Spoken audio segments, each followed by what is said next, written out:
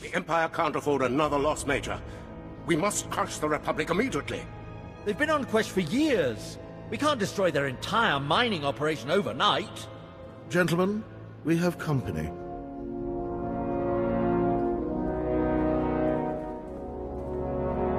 I am Moff Drayson, head of Quesh Imperial Forces.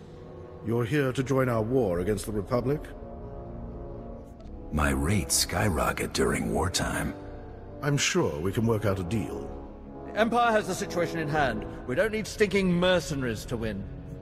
Maybe a broken jaw will improve your perspective.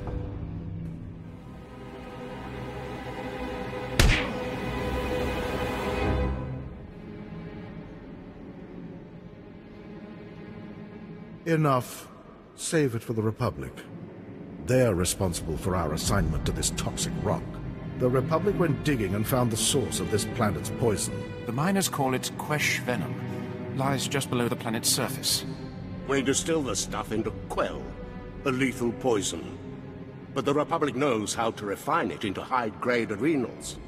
They've been processing the toxins into adrenals for years, with Hutt help, no less. We've come to conquer their operation and claim Quesh's venom for the